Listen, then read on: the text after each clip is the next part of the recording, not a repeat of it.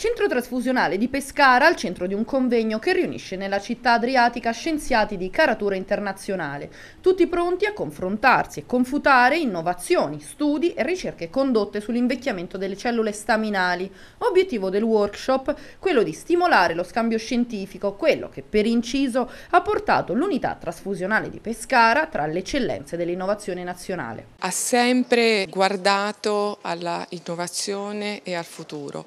e eh, grazie al dottor Iacone diciamo, eh, quattro anni fa abbiamo iniziato anche ad avere un, un piccolo laboratorio di ricerca e quindi eh, con il laboratorio di ricerca si aprono ovviamente nuovi orizzonti, cioè la voglia eh, di eh, praticamente mettere in contatto anche il clinico con la ricerca, di stare sempre insieme, di avere una ricerca traslazionale e noi aiutare il clinico a risolvere alcuni problemi che loro hanno nell'ambito anche di trovare nuove situazioni, nuove eh, diciamo, cure eh, per i loro pazienti.